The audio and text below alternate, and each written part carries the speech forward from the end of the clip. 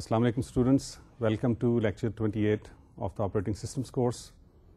Uh, if you remember, we, we are discussing in com- computer systems these days. पिछले lecture में हमने बात शुरू की थी कि डेडलॉक हैंडलिंग कैसे की जाती है उसमें हमने कहा कि तीन तरह की टेक्निक्स यूज़ होती हैं एक है डेडलॉक प्रिवेंशन की डेडलॉक अवॉइडेंस की दूसरी टेक्निक है और तीसरी है कि डेडलॉक्स को आप होने दें कंप्यूटर सिस्टम में लेट देम अकर और फिर उनको डिटेक्ट करें and bring the system out of deadlock तो लास्ट टाइम हमने बात की थी डेडलॉक प्रिवेंशन की डिटेल में। अब आज उससे आगे बात बढ़ाएँगे और डिस्कशन करेंगे डेडलॉक अवॉइडेंस की।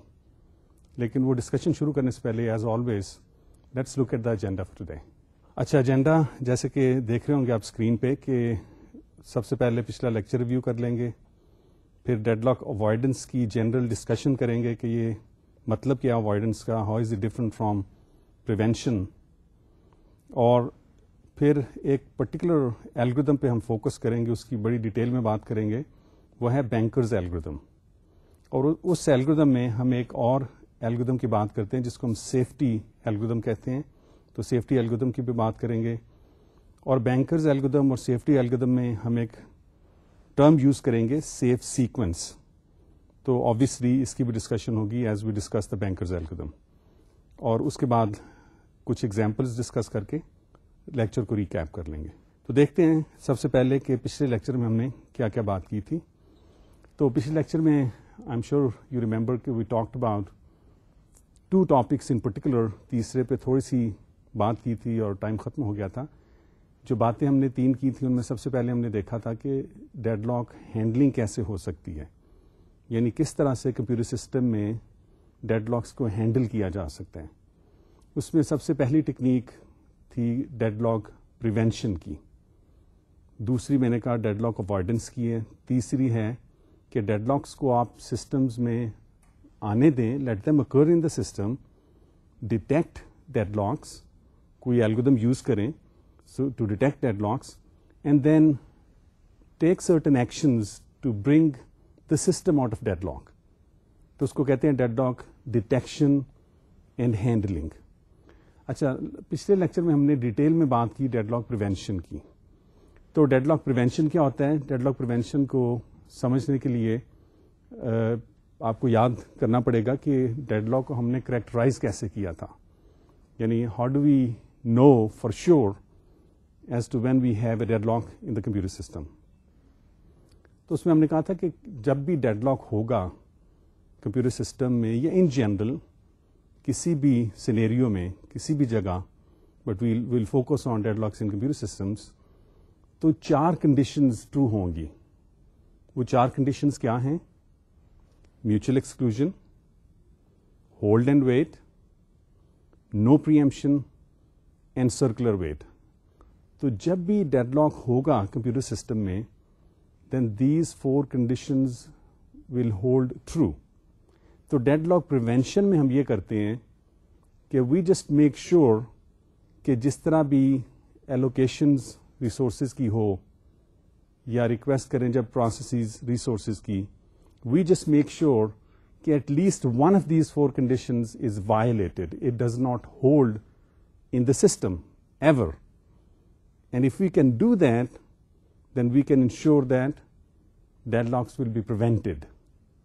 यानी क्योंकि ये चारों कंडीशंस का होल्ड होना साइमल्टेनियसली जरूरी है कंप्यूटर सिस्टम में to to to be a deadlock there therefore if we can prevent any one of these conditions from occurring we can prevent deadlocks तो इसमें हमने कहा कि फिर पहली चारों कंडीशंस को हमने डिटेल में देख लिया कि किस तरह हम वायलेट कर सकते हैं इन कंडीशंस को तो म्यूचुअल एक्सक्लूजन में हमने कहा कि कुछ रिसोर्स टाइप्स तो ऐसी हैं कि जिनको हम म्यूचुअली एक्सक्लूसिवली यूज़ करना यू नो उनका यूज़ प्रोसेसेस के लिए बड़ा ज़रूरी है। There is no other way यानी by nature some of the resources are non shareable a printer and therefore we can not guarantee that mutual exclusion could be violated for all resource types.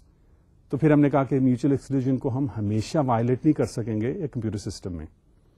अच्छा फिर हमने बात की hold and wait की, कि किस तरह होल्ड एंड वेट को वायलेट किया जा सकता है। या how can be ensure that hold and wait can be prevented in the system तो उसमें हमने कहा कि दो चीज़ें कर सकते हैं।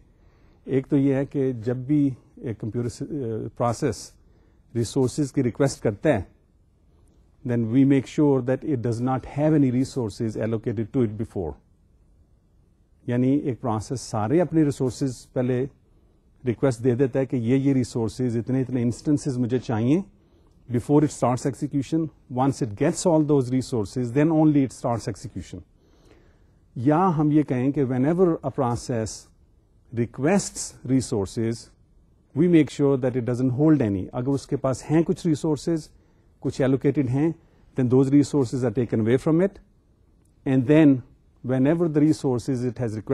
they are available and the ones it was holding सारे वो फिर दिए जाते हैं इट प्रोग्रेस तो ये हो गया कि होल्ड एंड वेट को कैसे वायलेट किया जा सकते हैं अगेन जस्ट टू समराइज इधर ask every process to all of the resources it may need during its execution ahead of time before it starts execution या जब एक प्रोसेस रिक्वेस्ट करते resources system just make sure या जो भी algorithm आप use कर रहे हैं कि जस्ट मेक श्योर कि इसके पास कोई भी रिसोर्सेज ना हो। अगर हैं तो वो ले लिए जाते हैं वापस। तो इस तरह वायलेट कर सकते हैं होल्ड एंड वेट को। नो प्रियमशन की कंडीशन को हम कैसे वायलेट कर सकते हैं? उसको इस तरह वायलेट कर सकते हैं कि जब एक प्रोसेस रिक्वेस्ट करता है कोई रिसोर्सेज तो उसके पास जो रिसोर्सेज हैं उनको वापस ले लिया जाता है और इस प्रोसेस से, यानी जब रिसोर्सेज वापस लेते हैं इट मीन्स कि we are preempting the the resources तो जब ये प्रोसेस को सारे रिसोर्सेज अवेलेबल हों, सारे सिस्टम में अवेलेबल होते हैं जो रिसोर्सेज ने रिक्वेस्ट किए हैं, जो इसके पास थे, वो जब सारे अवेलेबल हो जाते हैं, फिर इस प्रोसेस को वो रिसोर्सेज दे दिए जाते हैं। So we would we would preempt the resources a process holds at a given time इस तरह हमने नो प्रीएम्पशन की कंडीशन को वायलेट कर सकते हैं।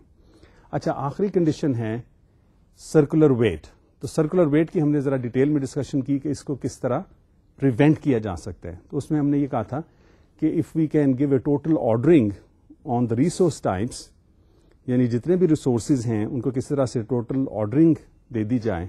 और एक सिंपल टेक्निक ये है कि सारे रिसोर्स टाइप्स को एक पॉजिटिव इंटीजर असाइन कर दें and every resource type gets a unique positive integer और फिर हम इंश्योर करें कि हर प्रोसेस जो कोई रिक्वेस्ट करेगा किसी रिसोर्स के लिए तो वो रिसोर्स की रिक्वेस्ट सिर्फ़ इस तरह होगी कि जिस रिसोर्स की रिक्वेस्ट की गई है, उसका नंबर बाकी रिसोर्सेज जो कि करंटली प्रोसेस के पास हैं, उनसे ज़्यादा होगा। यानी processes are asked to request resources in the increasing order of enumeration यानी पहले जो रिसोर्स रिक्वेस्ट किया है, वो किसी भी नंबर का हो सकता है। यानी whatever the number associated with resource वो रिक्वेस्ट कर सकता है प्रोसेस जब अगला रिसोर्स वो रिक्वेस्ट करेगा तो देन एल्गोदम मेक श्योर कि इसका जो रिक्वेस्ट है, जिस रिसोर्स की, उसका नंबर करंटली हेल्ड रिसोर्स से बड़ा हो। अच्छा फिर हमने कहा कि ये जब एल्गोदम फॉलो कर लिया जाएगा तो सर्कुलर वेट नहीं होगी। फिर हमने उसमें एक एग्ज़ाम्पल ली कि लेट सपोज़ के एक सिस्टम में in spite of following this algorithm circular wait does occur ये हमने इस तरह प्रूफ इसका दिखाया कि proof by contradiction let suppose कि फिर भी साइकिल आ जाता है तो उसमें हमने कहा कि पी ज़ीरो जो है let's say it is holding on to resource R zero P one is holding on to resource R one so on and so forth. Pn is holding on to resource say Rn or P0 is again holding on to resource R0. इसी तरह cycle बनेगा P0, P1 all the way to Pn then back to P0. फिर हमने कहा इसका अगर इसका मतलब ये हुआ कि P R0 का जो रिसोर्स है रिसोर्स R0 का जो नंबर है वो कम होगा R1 के नंबर से R1 का नंबर हो कम होगा R2 के नंबर से and so on and so forth और आर एन माइनस वन का नंबर कम होगा आर, एन से, और क्योंकि पी, एन ने रिक्वेस्ट किया रिसोर्स आर ज़ीरो की, इसीलिए ये साइकिल बन रहा है। तो इसका मतलब है कि रिसोर्स आर ज़ीरो का नंबर ये कम होगा number resource number R zero के नंबर से। तो फिर हमने कहा, ये तो नहीं हो सकता कि number for R zero is less than number for R zero and therefore we can not have a cycle तो ये हमने सिंपल साइज़ का प्रूफ देख लिया। उसके बाद हमने सिर्फ़ इतनी बात की थी कि डेडलॉक अवॉइडेंस होती क्या है। तो उसके लिए एक single instance of resource types के लिए हमने एक एग्जांपल देख ली थी। मैंने सिर्फ़ ये कहा था कि डेडलॉक अवॉइडेंस और प्रिवेंशन का जो फ़र्क है, वो ये है कि डेडलॉक प्रिवेंशन में एक्सप्लिसिटली हम कोशिश करते हैं कि ये चार कंडीशंस में से एटलीस्ट एक वायलेट हो जाए। So we prevent deadlocks from occurring by preventing any one of these four necessary conditions from occurring deadlock avoidance में हम ये नहीं करते. डेडलॉक अवॉइडेंस में हम ये करते हैं कि वी जस्ट मेक श्योर कि सारे प्रोसेसेस को जितनी रिसोर्सेज की ज़रूरत हो सकती है पॉसिबली ड्यूरिंग दर एक्सिक्यूशन वो सारे के सारे सिस्टम को एल्गोदम को बताते हैं कि इन इन रिसोर्सेज की और इतने इतने इंस्टेंसेस की पर हमें ज़रूरत पड़ेगी. And may be the algorithm also requires कि किस ऑर्डर में पड़ेगी. लेकिन सबसे सिंपल केस ये होगा कि सिर्फ़ बता दे सारे प्रोसेस के कितने रिसोर्सेज की कितने इंस्टेंसेस की हर एक रिसोर्स टाइप की ज़रूरत पड़ेगी। सो so, उस इंफॉर्मेशन को यूज़ करके जब भी एक प्रोसेस रिक्वेस्ट करते रिसोर्सेज की तो एल्गोदम मेक श्योर कि अगर ये रिक्वेस्ट को फुलफिल कर दिया जाए इमीडिएटली तो सिस्टम किसी अनसेफ स्टेट में ना चला जाए। अनसेफ स्टेट ये होगी ये बात की थी लास्ट टाइम मैंने कि अनसेफ स्टेट में possibility of a deadlock exists ठीक है? तो जब भी ऐसी कोई रिक्वेस्ट आती है कि the system the algorithm determines that by granting this request immediately the system may get into an unsafe state तो ये रिक्वेस्ट नहीं ग्रांट की जाती immediately the process the requesting process has to wait अगर request grant करने से immediate grant करने से सिस्टम सेफ़ स्टेट में रहता है तो रिक्वेस्ट को ग्रांट कर दिया जाता है। अच्छा सेफ़ स्टेट क्या होती है? इसकी बात मैंने लास्ट टाइम की थी विद एन एग्ज़ाम्पल इसकी और कई एग्ज़ाम्पल देखेंगे आज जब हम बैंकर्स एल्गोदम को डिस्कस करेंगे but just real quickly safe state ये है कि रिक्वेस्ट ग्रांट करने के बाद ये एक सेफ्टी एल्गोदम रन किया जाता है, जो सिर्फ़ ये डिटर्मिन करता है कि किसी तरह से with whatever resources are available currently can we finish all of the process in some अगर तो वो कर सकते हैं तो इसका मतलब सिस्टम सेफ़ स्टेट में यानी डेडलॉक नहीं होगा। ठीक है? तो इतनी हमने बात की थी लास्ट टाइम आज हम देखेंगे कि डेडलॉक अवॉइडेंस जरा इसको डिटेल में देख लेंगे for single instance resource types के लिए और for multiple instance resource types के लिए। तो चलते हैं आगे डिस्कस करते हैं पहले single instance of resource types के लिए डेडलॉक अवॉइडेंस कैसे की जा सकती है। अच्छा आप देख रहे होंगे कि अगली स्लाइड में कि रिसोर्स एलोकेशन ग्राफ इसको मैंने रैग लिख दी है। जस्ट टू सेव स्पेस कि रिसोर्स एलोकेशन ग्राफ को हम थोड़ा सा मॉडिफाई किया हमने। पहले इसको हमने देखा था कि रिसोर्स एलोकेशन ग्राफ क्या होता है, कि रिक्वेस्ट एज होती है और असाइनमेंट एजेस होती हैं, ठीक है? एक एज हम ऐड कर रहे हैं इस ग्राफ में, जिसको हम कहते हैं क्लेम एज क्लेम एज क्या है? It may it is an edge from a process to a resource type यानी अगर ये एज हो edge you can see edge going from process P sub I to resource type R sub J it indicates that process P sub i may request an instance of resource type RJ. और इस as को हम dash line से दिखाते हैं resource allocation graph में अच्छा जब प्रोसेस रिक्वेस्ट कर देता है आरजे तो ये claim edge converts into request edge और ये सॉलिड लाइन में दिखाई जाती है अच्छा अगली स्लाइड में देखें कि जब एक्चुअली रिसोर्स को असाइन कर दिया जाता है प्रोसेस को तो ये रिक्वेस्ट एज जो है, ये असाइनमेंट एज में तब्दील हो जाती है। And when a resource is released by a process assignment edge converts to claim edge again and resources must be claimed a priori in the system यानी कि सारे प्रोसेसेस को पहले बताना पड़ेगा इस एल्गोदम को कि ये ये रिसोर्स टाइप्स और इतने इतने इंस्टेंसेस मुझे चाहिए होंगे। लेकिन हम क्योंकि बात करें अभी सिर्फ़ single instance of resource types की तो इसलिए सिर्फ़ हम ये कहेंगे कि कौन कौन से रिसोर्सेज एक प्रोसेस को चाहिए पॉसिबली ड्यूरिंग इट्स एक्सिक्यूशन वो सारे इस अवॉइडेंस एल्गोरिथम को बता देगा। ठीक है? अच्छा अगली स्लाइड में चले। हमने एक एग्ज़ाम्पल दिखाई है।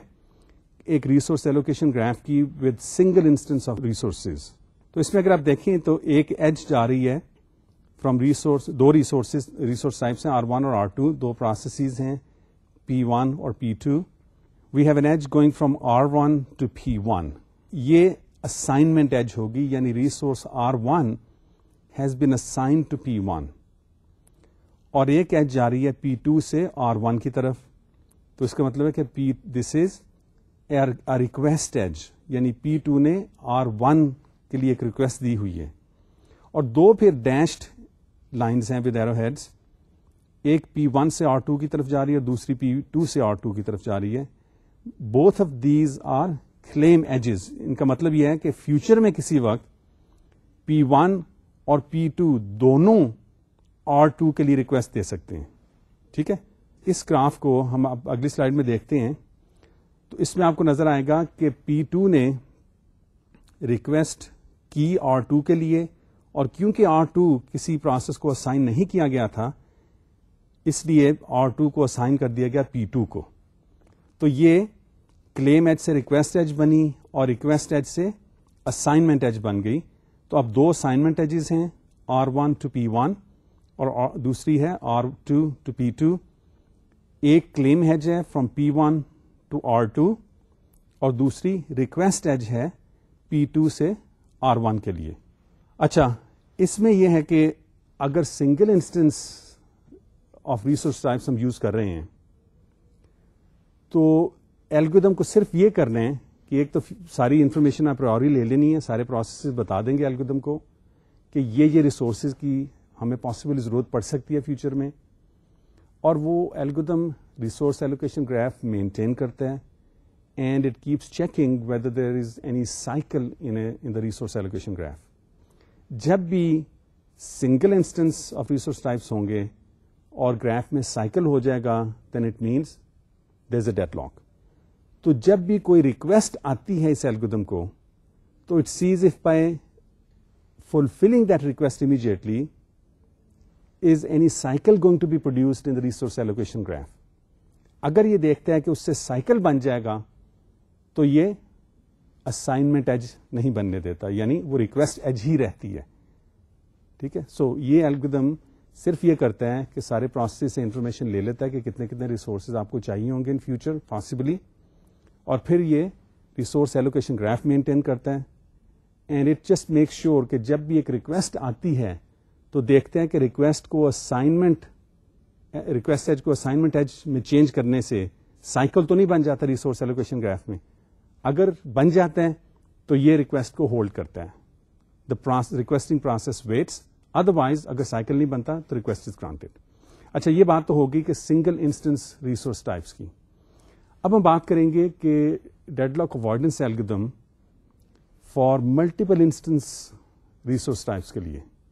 ठीक है कि अगर एक रिसोर्स टाइप्स में या सारे रिसोर्स टाइप्स में मल्टीपल इंस्टेंसेस हों तो उस सिस्टम में डेडलॉक्स को अवॉइड कैसे किया जा सकता है? उसके लिए एक मशहूर एल्गोदम है बैंकर्स एल्गोदम किताब में डिटेल में डिस्कस किया गया है।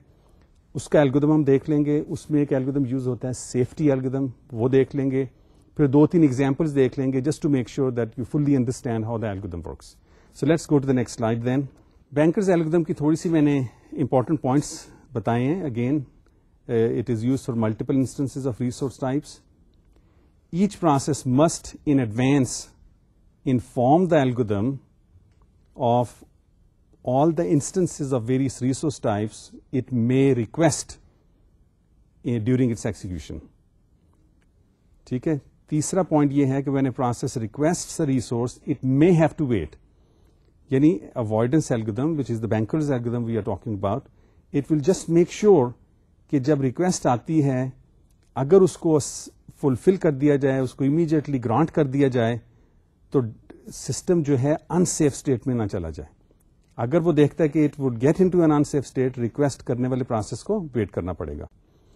अच्छा आखिरी बात इस स्लाइड में यह है कि when a process gets all its resources it must return them in a finite amount of time और ये असम्पशन इज़ फेयरली वैलिड फिर assuming there well behaved processes अच्छा बैंकर्स एल्गोदम में अगली स्लाइड में आप देखें we are going to talk about some of the data structures used in the algorithm एक तो हम अस्यूम करें कि there are N processes and M resource types पहला जो डेटा स्ट्रक्चर यूज़ कर रहे हैं it's a vector called available इसकी लेंथ है m again m is the number of resource types so available j equal to k if we say that available sub j equal to k it means there are k instances of resource types or j available currently बहुत ज़्यादा resource types अगर हों with multiple instances तो अगर हम कहें कि available सब जे इक्वल टू के इसका मतलब जो रिसोर्स टाइप आर जे है, उसके के इंस्टेंसेस करंटली अवेलेबल हैं अच्छा अगली स्लाइड में दो और डेटा टाइप्स से डेटा स्ट्रक्चर्स हमने डिस्कस लिखे हुए हैं max is a matrix of N by M if max I J equal to K then it means process P sub i may request at most k instances of resource type or j. ये maximum possible need of a process को indicate करता है।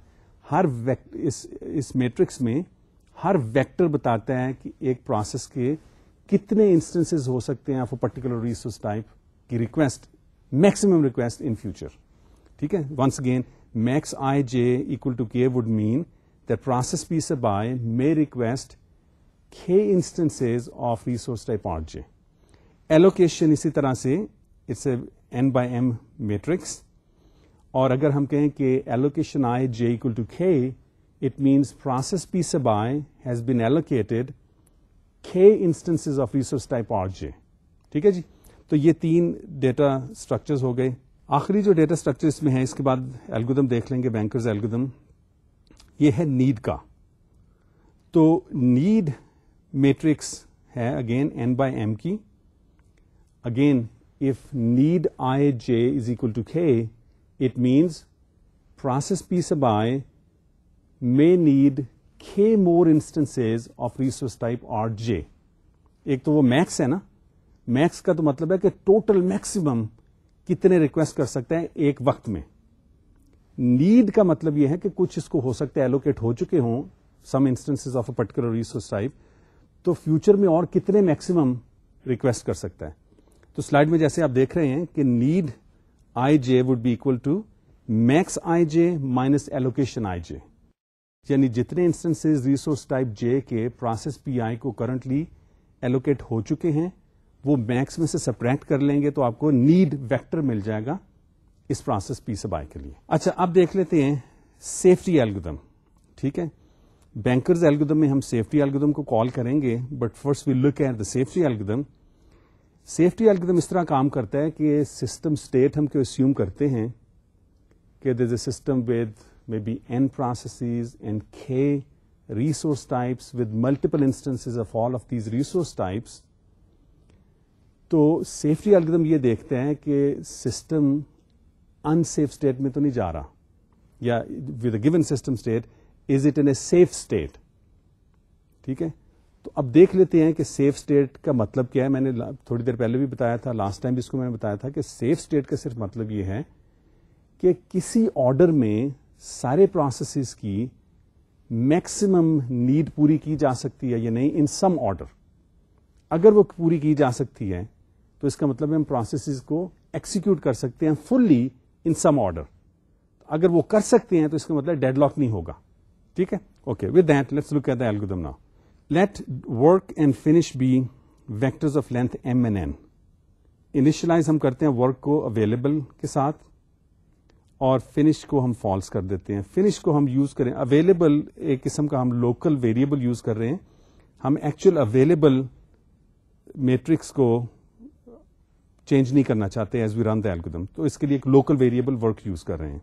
Finish जो है ये एक Boolean अरे है ऑफ़ एन एलिमेंट्स इसको हम यूज़ करते हैं to keep track of as to whether which process will be able to finish fully will be able to fulfil their maximum possible need of all the resource types अच्छा second step है कि find an I such that both number one finish I is equal to false and need sub I is less than equal to work क्या मतलब इसका? इसका मतलब यह है कि हम एक प्रोसेस को ढूंढ रहे हैं पी सब आए को सच दैट कि प्रोसेस जो है, ये खत्म, अभी इसने फुल एक्सिक्यूट एक्सिक्यूशन अपनी खत्म नहीं की।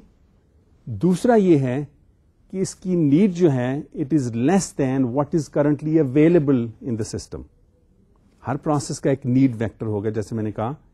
नीड वेक्टर क्या होगा? कि ये जितने रिसोर्स टाइप्स हैं, इनके कितने कितने इंस्टेंसेस ये प्रोसेस फ्यूचर में अभी और रिक्वेस्ट कर सकता है। ठीक है? एक तो प्रोसेस की होती है ना मैक्सिमम नीड कितनी होगी during its execution at a given time एक प्रोसेस की नीड वेक्टर होता है कि मल्टीपल जो रिसोर्स टाइप्स हैं, उनके कितने कितने इंस्टेंसेस को ये रिक्वेस्ट कर सकते हैं। अब एट ए गिवन टाइम हर प्रोसेस को हो सकता है कुछ कुछ instances of various resource types allocated हुए हों। तो नीड ये है for a process let's a process P sub I need sub I means कि प्रोसेस पी सब आई का जो नीड वेक्टर है, क्या ये लेस देन वर्क है या नहीं? ठीक है? सो हम एक प्रोसेस को ढूंढ रहे हैं, जो कि अभी एक्सिक्यूशन उसने खत्म नहीं की, और उसका need vector is less than what is currently available remember that in the work variable we have we initialise it to available तो अब ये लोकल वेरिएबल वर्क पे हम काम कर रहे हैं but it is essentially what is currently available at any stage during the execution of the algorithm so let's go back and look at the next step then अच्छा अगर तो हमें एक प्रोसेस मिल जाता है पी सब आए जो अभी खत्म नहीं हुआ और उसकी need is less than equal to work इसका मतलब क्या है? कि हम इसकी जो नीड की रिक्वेस्ट पूरी कर सकते हैं with what is currently available at any step during the algorithm तो जब इसको हम दे देंगे वो रिसोर्सेज जो इसकी ज़रूरत होगी तो then this process is going to finish और जब खत्म कर लेगा अपनी एक्सिक्यूशन तो जितने इसकी एलोकेशन है वो वेक्टर जो है, हम वर्क में ऐड कर देंगे। ठीक है? तो यही स्टेप नंबर थ्री में हम कहते हैं कि work is then going to be equal to work plus allocation of process P sub I और फिनिश फ्लैग इसका इंडिकेट कर देंगे प्रोसेस पी सब आए फिनिश हो गया।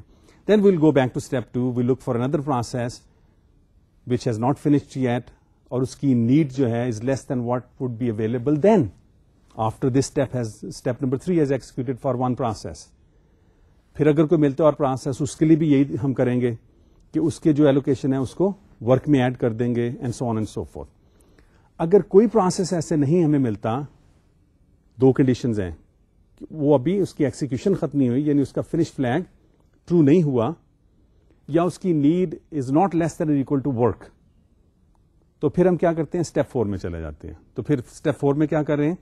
If finish the by is equal to true for all I then the system is in a safe state यानी अगर तो ये सारे एल्गोरिथम से एक्सिक्यूशन करने के बाद हम देखते हैं कि सारे फिनिश फ्लैग्स ट्रू हो चुके हैं, इसका मतलब है कि सारे प्रोसेसेस को किसी ऑर्डर में हम एक्सिक्यूट एक्सिक्यूट कर सकते हैं fully and therefore there is a safe sequence ठीक है? अच्छा आगे चलें। ये तो सेफ्टी एल्गोरिथम हो गया। अब देखते हैं कि बैंकर्स एल्गोरिथम जो है, उसका क्रक्स क्या है। अच्छा जब एक process P sub I request करता है तो हम कहते हैं कि request I indicates the request for process P sub I if request आई सब जे इज़ इक्वल टू के ये मैंने पहले भी बात की थी, इसका मतलब ये है कि p i has requested k instances of resource type और जे अच्छा जब एक प्रोसेस रिक्वेस्ट देते हैं अपनी तो then we see if step number one जो एल्गोरिथम का ये है कि if request is less than equal to need then go to step two otherwise report an error यानी अगर एक प्रोसेस ने अपनी रिक्वेस्ट भेजी है आप तो देखना है कि वो इसकी नीड से कम है या नहीं। नीड से कम देखना है मैक्स से कम नहीं देखना, क्योंकि कुछ अभी एलोकेशन इसको हो चुकी है। It has an allocation vector और need vector is max vector for the process minus the allocation vector for the process तो अगर एक प्रोसेस रिक्वेस्ट कर रहा है तो देखना यह है कि is the request less than और equal to the need for the process अगर तो ये ट्रू है then it's a valid request अगर ट्रू नहीं है तो इट्स एन इनवैलिड रिक्वेस्ट ठीक है जी? अगले देखें स्टेप में, अगली स्लाइड में। दूसरा ये देख रहे हैं, एक तो देख लिया कि इसकी नीड से कम है या नहीं। दूसरा ये देख रहे हैं कि इसकी रिक्वेस्ट को फुलफिल किया जा सकता है with whatever is currently available in the system अगर तो वो भी किया जा सकता है then we go to step three अगर एक प्रोसेस की रिक्वेस्ट करंटली फुलफिल नहीं की जा सकती from whatever is available in the system currently whatever instances, instances of various resource types are available, then this process has to wait. ठीक है? सो so, देख लें एक प्रोसेस ने रिक्वेस्ट की इसकी रिक्वेस्ट इसकी नीड से कम है। If the answer is yes देखें कि is it less than equal to available if the answer is yes then we go to step three otherwise अगर इसकी रिक्वेस्ट तो नीड से तो कम है, लेकिन अवेलेबल से कम is not less than equal to available then this process has to wait अच्छा assuming कि नीड से भी कम है अवेलेबल से भी कम है, फिर हम क्या करते हैं? फिर हम ये करते हैं कि we pretend as if the request is going to be granted ठीक है? तो अगली स्लाइड में देखें, यही हम शो कर रहे हैं। ग्रांटेड का मतलब क्या है? कि अवेलेबल ग्रांट अगर कर दी जाए इसको तो अवेलेबल वेक्टर क्या हो जाएगा? Would be whatever is currently available minus request for process P से बाय ठीक है? Allocation of I is going to be its current plus request क्योंकि अब रिक्वेस्ट को भी हम ग्रांट कर रहे हैं। और इसकी नीड क्या रह जाएगी प्रोसेस पी सब आई की? Its need is going to be need minus request so need को भी अपडेट हमने कर दिया। इसके बाद ये करके सारे प्रोसेस का हम करके फिर हम कहते हैं कि if is safe then resources are allocated to P sub I ठीक है if this leads the system into an unsafe state, then Pi must wait and the old resource allocation state is restored. यानी ये request देख request grant करके सारे data structures update करके हम देखते हैं कि ये रिक्वेस्ट ग्रांट करके सिस्टम सेफ़ स्टेट में रहता है या नहीं। अगर तो सेफ़ स्टेट में रहता है तो रिक्वेस्ट एक्चुअली ग्रांट कर दी जाती है। और अगर सेफ़ स्टेट में नहीं रहता तो इस प्रोसेस को वेट करना पड़ेगा। ठीक है? अच्छा सेफ्टी कैसे चेक की जाती है? At this step banker's algorithm invokes the safety algorithm तो सेफ्टी एल्गोदम फिर बताता है कि is there a safe sequence अगर सेफ़ सीक्वेंस होता है तो द रिक्वेस्ट इज़ ग्रांटेड अगर नहीं तो system does not grant the request to P sub I at this stage P sub I must wait let me give you the summary of the banker's algorithm now and then we look at a few examples ठीक है? Summary ये है कि जब एक process request देता है तो सबसे पहले बैंकर्स एल्गोरिथम देखता है कि प्रोसेस की जो रिक्वेस्ट है, इसकी नीड से is it less than equal to the need for the process अगर ये नीड से लेस देन इक्वल टू है, फिर देखता है is the request less than equal to what is currently available अगर वो भी ठीक है तो फिर ये it mimics as if the request is going to be granted ठीक है? कि रिक्वेस्ट ग्रांट कर दी जाएगी। उसके बाद सेफ्टी एल्गोरिथम को इन्वोक करता है। With this given new system state तो सेफ्टी एल्गोरिथम इसको बताता है कि इस नई स्टेट जो बनेगी ग्रांट करने के बाद, ये सेफ़ रहेगी या नहीं। अगर तो सेफ्टी एल्गोरिथम कहता है कि system would is in a safe state with this allocation तो this allocation is made permanent otherwise these things are undone and then this process has to wait okay all right let's look, go, go to the next slide इसमें हम example system देख हैं with five processes P0 through P4 three resource types A B C A के दस instances हैं B के पाँच और C के सात अच्छा अगली स्लाइड में हम देख लेते हैं कि सिस्टम स्टेट हमारी क्या है इस वक्त तो सिस्टम स्टेट में आप देखें कि पाँच प्रोसेसेस शो किए गए हैं। पहले कॉलम में P zero through P four फिर मैट्रिक्स मैक्स दिखाई है मैंने ए बी सी जो रिसोर्सेज हैं। पहला जो वेक्टर है इस मैट्रिक्स का सेवन फाइव थ्री इसका मतलब ये है कि प्रोसेस पी सब ज़ीरो जो है it can request at most seven instances of resource type A five instances of resource type B और तीन instances of resource type C दूसरा जो इसका वेक्टर है मैक्स का it is three two two तो इसका मतलब यह है कि पी वन जो है it may request at most three instances of A two instances of B and two instances of C and so on and so forth ये होगी मैक्स मैट्रिक्स एलोकेशन मैट्रिक्स जो है वो पहला कॉल इसका रो अगर देख लें तो it says zero one zero इसका मतलब यह है कि P zero has been allocated one instance of B presently and no instances of A and C. इसी तरह दूसरा रो अगर देख लें एलोकेशन मैट्रिक्स का तो it is 200 which means that P1 has been allocated two instances of A and no instances of B and C and then so on and so forth for the for other processes. Available vector बताते हैं कि it is 332 what does 332 available vector means? It means that currently there are three instances of resource type A available, three instances of resource type B available, and two instances of resource type C available.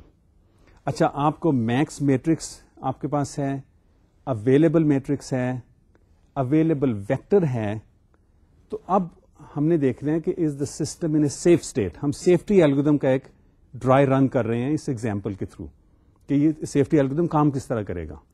Algorithm तो हमने देख लिया but इसकी एक simple example देख रहे हैं। तो सेफ्टी एल्गोरिदम क्या करेंगे इसमें सबसे पहले? सबसे पहले हम नीड मैट्रिक्स बनाएँगे, यानी सारे प्रोसेसेस के वेक्टर बनाएँगे नीड के लिए। तो need vector for process P sub zero क्या होगा? Max minus its current allocation ये वेक्टर रिथमेटिक हम कर रहे हैं। नीड वेक्टर प्रोसेस वन का क्या होगा? Max vector for process one minus the allocation vector for process one and so on and so forth ठीक है? उसके बाद सेफ्टी एल्गोरिथम रन करेंगे। So let's see what the need matrix is and then how the safety algorithm works. अच्छा अगली slide में मैंने ये बता दिया कि again need sub i would be equal to max sub minus allocation sub i तो इससे जो नीड मैट्रिक्स हमारी बनेगी पी ज़ीरो की नीड वेक्टर क्या बनेगा? सेवन फोर थ्री ये कैसे बना? I just do this example and then you can do the rest of them on your own process p sub zero का मैक्स वेक्टर क्या था? सेवन फाइव थ्री ठीक है? यानी seven instances of Resource type A five instances of resource type B and three instances of resource type C could be requested, may be requested by P0 at any given time. इसकी current allocation क्या है P सब zero की what is allocation sub zero zero one zero so seven five three minus vector zero one zero जब result क्या आएगा आपका seven four three तो need vector for P sub zero would be seven four three इसी तरह हम बाकी सारे प्रोसेसेस का नीड वेक्टर निकाल लेते हैं and we get the need matrix तो ये नीड मैट्रिक्स आप देख रहे हैं स्लाइड में कि पी वन की नीड होगी one two two P two की होगी six zero zero P three की होगी zero one one and P four की होगी फोर थ्री वन अच्छा अगली स्लाइड में, अगली चंद एक स्लाइड में स्लाइड में अब मैं दिखाऊँगा स्टेप बाय स्टेप कि ये किस तरह सेफ्टी एल्गोरिथम काम करता है। और स्लाइड के नीचे मैं दिखाऊँगा कि किस तरह सेफ़ सीक्वेंस बनता जा रहा है। तो सेफ्टी एल्गोरिथम में just to remind you again हम देखेंगे कि किसी एक प्रोसेस की फ्यूचर नीड को सेटिस्फाई किया जा सकता है with whatever is available at any given time तो start with what is currently available अगर ये हम कर सकते हैं तो इसका मतलब है कि इस प्रोसेस को हम ख़त्म कर सकते हैं, इसके एक्सिक्यूशन को। फिर जो भी इसको एलोकेट किया गया होगा वो हम अवेलेबल में ऐड कर देंगे। और फिर देखेंगे कि कोई प्रोसेस जो अभी तक खत्म नहीं हो चुका उसकी need with whatever would be available now after doing the first step इस अवेलेबल से सेटिस्फाई किया जा सकता है किसी और, और प्रोसेस की नीड को। अगर कर सकते हैं तो इसका मतलब है उस प्रोसेस को भी हम खत्म कर सकते हैं। फिर उसको जो एलोकेट किया गया होगा वो अवेलेबल में ऐड कर देंगे and then we look for other process and so on and so forth at the end will see do we get a sequence of processes an order of processes in which they can be finished तो हर step पे हम safe sequence में एक एक process जिसको हम खत्म कर सकते हैं एट ए गिवन टाइम उसको ऐड करते जाएँगे। So look at the bottom and look at the available matrix available vector ठीक है? अच्छा शुरू में तो ये है आपका कि आपकी नीड मैट्रिक्स भी है एलोकेशन मैट्रिक्स है और work work remember work is the local variable for available तो थ्री थ्री टू अच्छा अब ये देखें कि three two can we fulfil the need of any of these five processes तो हम देख लेंगे कि पी ज़ीरो की तो नीड को हम सेटिस्फाई नहीं कर सकते with whatever is currently available क्योंकि पी ए पी ज़ीरो को पॉसिबली सात इंस्टेंसेस पी ज़ीरो रिक्वेस्ट कर सकता है रिसोर्स टाइप ए के और हमारे पास अभी सिर्फ़ तीन इंस्टेंसेस हैं तो पी ज़ीरो की नीड तो हम सेटिस्फाई नहीं कर सकते about P one P one को चाहिए वन इंस्टेंस ऑफ़ ए हमारे पास तीन है so we can do that two instances of B we have three so we can do that also two instances of C may be needed by P1 and we have exactly two instances of C and therefore we can fulfill the possible need for P1 with what is currently available. तो हम इसका मतलब कि P1 को हम execution इसकी ख़त्म कर सकते हैं। तो जब P1 की एक्सिक्यूशन ख़त्म हो गई तो हम इसको सेफ़ सीक्वेंस में डाल देंगे। सो so, पहला प्रोसेस जो हम ख़त्म कर सकते हैं we just going to go from zero one two and so on and so forth and then wrap around ठीक है? तो P1 को हम सेफ़ सीक्वेंस में डाल देंगे और इसकी जितनी एलोकेशन है which is two zero zero उसको ऐड कर देंगे वर्क में। ठीक है? तो जब हमने ये किया तो क्या हो जाएगा? नई स्लाइड आपके सामने आ रही है। कि सेफ़ सीक्वेंस में प्रोसेस P1 आ गया। वर्क में क्या हो गया? हमने इसमें वेक्टर 332 जो अवेलेबल था, उसमें 200 ऐड कर दिया तो नया वेक्टर क्या आ गया? 532 अब with 532 is there any process P1 तो हमने अभी देखा, अब देखते हैं P2 को। P2 की नीड को सेटिस्फाई नहीं किया जा सकता with five instances of A क्योंकि P2 को छह इंस्टेंसेस की ज़रूरत हो सकती है। So P two can not be put in the safe sequence P3 को देख लें। इसका वेक्टर है ज़ीरो वन वन वर्क जो है which is available after finishing P1 is five three three there 533 therefore P3 can be finished तो P3 जो है, वो सेफ़ सीक्वेंस में चला जाएगा। और P3 की जो करंट एलोकेशन है 211 की, वो वर्क में ऐड कर देंगे। तो फिर हमें क्या मिल जाएगा? नया सीक्वेंस हो जाएगा P1 followed by P3 and new work would be 743 अच्छा अब देख लेते हैं कि P4 की पॉसिबल नीड को सेटिस्फाई किया जा सकता है with 743 and the answer is yes क्योंकि नीड जो है P4 की it is 431 which is less than equal to 743 तो इसका मतलब P4 को हम सेफ़ सीक्वेंस में डाल देंगे, और इसकी जो एलोकेशन है 002 की, वो वर्क में डाल देंगे।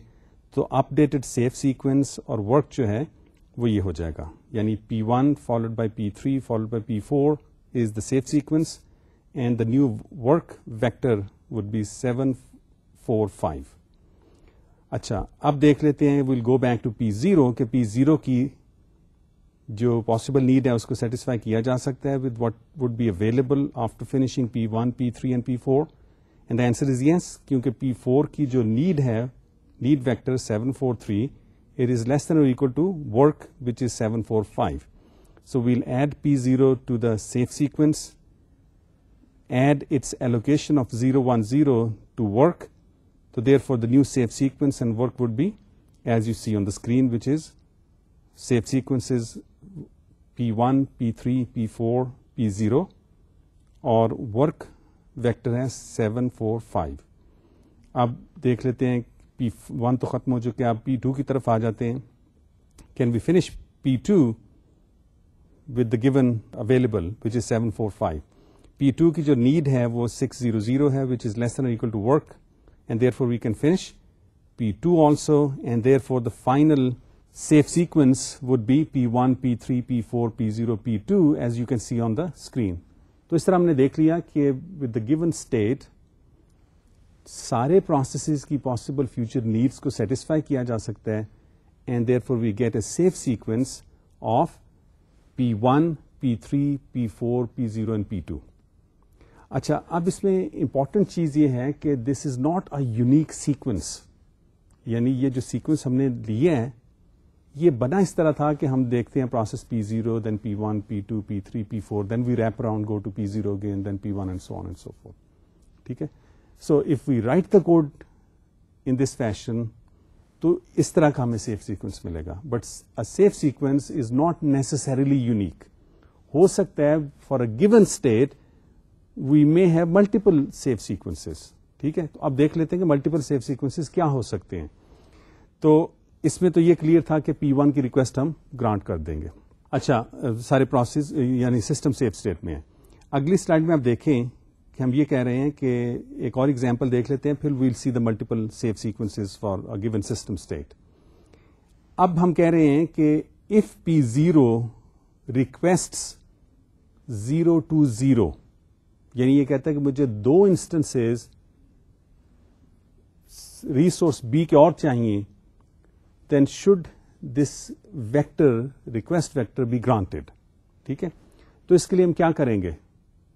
इसके लिए बैंकर्स एल्गोदम रन करेंगे, जिसमें सेफ्टी एल्गोरिदम को कॉल करेंगे और फिर देखेंगे कि with if this request is granted does the system stay in a safe state तो बैंकर्स एल्गोरिदम में क्या करते हैं हम? Just to remind you again so that this example makes sense सबसे पहले देख लेंगे कि ये जो रिक्वेस्ट है पी ज़ीरो की which is zero two zero is it less than और equal to the need for P zero need vector क्या है? पी ज़ीरो का आप स्लाइड आपके सामने होनी चाहिए। It is seven four three so certainly request zero two zero is less than seven four three दूसरा स्टेप बैंकर्स एल्गोरिथम का ये है कि is the request vector less than equal to what is currently available available vector क्या है हमारा? Three three two and therefore this request is less than the available so P zero's request is less than its need it is less than what is available अब हम ये करेंगे कि will update this data structures and then call the safety algorithm और safety algorithm को कहेंगे कि this system state जो आपको हम दे रहे हैं इज दिस सेफ अगर सेफ्टी एल्गोरिथम कहता है कि yes it is safe and here is the safe sequence then this request is going to be actually granted otherwise ये will do will undo these things and P zero would have to wait तो अब देख लेते हैं कि ये algorithm इस state पे कैसे रन करेगा। तो इसी तरह हमने देख लिया कि request of zero is less than और equal to need it is less than what is available अगली स्लाइड में ये सिस्टम स्टेट जो पहले भी मैं आपको दिखा चुका हूँ, ये है। In the first step which is the need for P zero update allocation for P zero पहले एलोकेशन अगर आप देखें तो ज़ीरो वन ज़ीरो जो पी ज़ीरो की एलोकेशन वेक्टर है ज़ीरो वन ज़ीरो है, इसकी रिक्वेस्ट है ज़ीरो टू ज़ीरो की। तो ज़ीरो टू ज़ीरो को ऐड कर देंगे ज़ीरो वन ज़ीरो में तो ये बन जाएगा zero three zero zero two zero को इसकी नीड में से सब्ट्रैक्ट कर देंगे तो आप देख लेंगे कि नीड इसकी सेवन टू थ्री हो जाती है एलोकेशन ज़ीरो थ्री ज़ीरो और वर्क जो है which is what was available इसमें से क्योंकि दो इंस्टेंसेस बी के ले लिए तो नया वर्क जो बन जाएगा the new available vector would be three one two अब हमने देखना है कि ये सिस्टम स्टेट जो है is it safe so banker's algorithm ने ये काम कर लिया, फिर इसने सेफ्टी एल्गोरिथम को कॉल कर दिया। तो सेफ्टी एल्गोरिथम आप क्या कहते हैं? सेफ्टी एल्गोरिथम ये देखेगा कि अब पी ज़ीरो की जो पॉसिबल फ्यूचर नीड है can it be met with what is currently available the answer is no ठीक है, ये आपको नज़र आ रहा है। पी वन की नीड है वन टू टू की। Not be met with what is available which is three one two P one को दो इंस्टेंसेस चाहिए रिसोर्स बी के अवेलेबल इस वक्त एक है। तो पी वन को भी अभी उसकी मैक्सिमम फ्यूचर नीड सेटिस्फाई नहीं की जा सकती with whatever is available P two की है सिक्स ज़ीरो ज़ीरो इसको भी नहीं सेटिस्फाई किया जा सकता, ठीक है? पी थ्री की जो है, वो है zero one zero one one इसको सेटिस्फाई किया जा सकता है। तो हम करेंगे क्या कि P3 को हम सेफ़ सीक्वेंस में डाल देंगे। इसकी जो करंट एलोकेशन है 211 की, इसको ऐड कर देंगे वर्क के अंदर। तो अब नई स्टेट जो बनेगी, वो आप देख रहे हैं कि सेफ़ सीक्वेंस में P3 आ गया है और अपडेट कर दिया हमने वर्क को by adding 211 to it and the new available vector would be 523 उसके बाद हम देखते हैं कि with 523 can we satisfy P4's need? The vector, the need vector for P4 is 431, which is not less than 523. Okay? Remember, these are not simple numbers, these are vectors. So, इसको P4 के को चाहिए चार instances resource type A के हमारे पास पांच available हैं so we can give it four instances of A P four को तीन इंस्टेंसेस बी के चाहिए, लेकिन हमारे पास सिर्फ़ दो हैं इस वक्त। तो इसलिए पी फोर की नीड को सेटिस्फाई इस वक्त नहीं किया जा सकता। अच्छा then will go back to P zero अभी पी ज़ीरो को भी नहीं सेटिस्फाई कर सकते। पी वन की देख लेते हैं।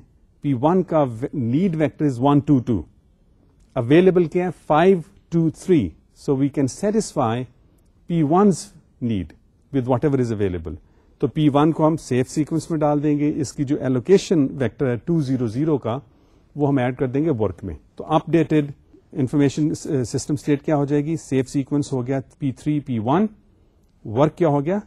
सेवन टू थ्री अब क्योंकि हमने पी वन को डाला सेफ़ सीक्वेंस में then we look at P two now P two की जो नीड है सिक्स ज़ीरो ज़ीरो की, वो सेटिस्फाई हम कर सकते हैं with what is available after finishing P three and P one ठीक है? क्योंकि अब अवेलेबल जो वर्क वेक्टर है वो सेवन टू थ्री का है।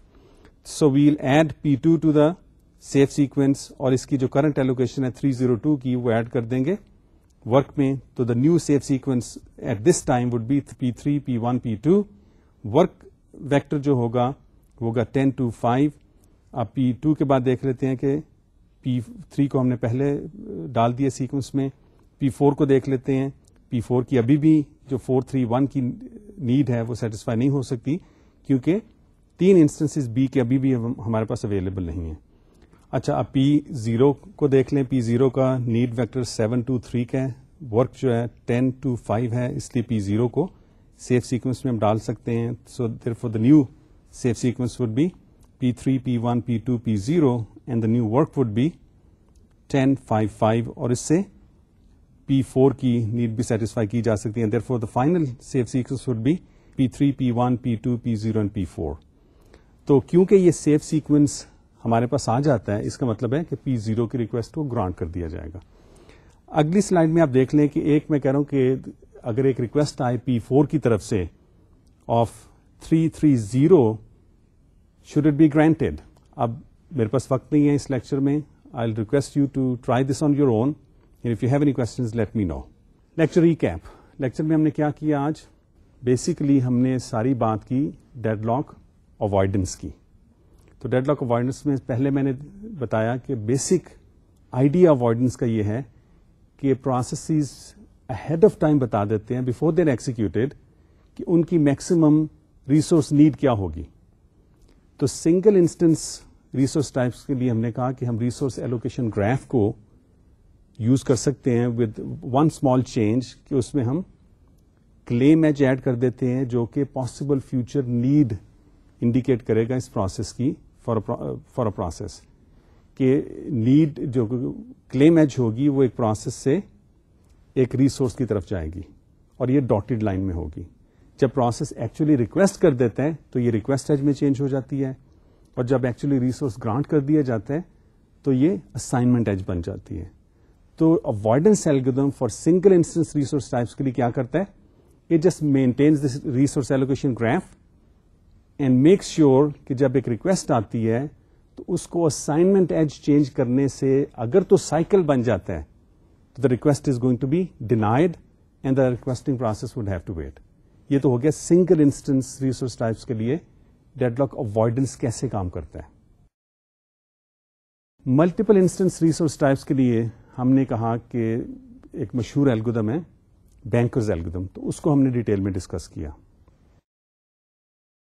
तो बैंकर्स एल्गोदम क्या करता है? बैंकर्स एल्गोदम ये करता है कि जब एक प्रोसेस रिक्वेस्ट देता है अपनी तो बैंकर्स एल्गोदम करता है कि ठीक है, इसकी रिक्वेस्ट जो है, इसकी नीड वेक्टर से कम है इज़ इट लेस देन और equal to the need vector if so is the request vector less than और equal to what is available in the system at this time अगर ये दोनों चीज़ें द आंसर इज़ ट्रू तो फिर actually request grant की जाती है। It the system behaves as if the request is granted फिर सेफ्टी एल्गोरिथम को कॉल करता है।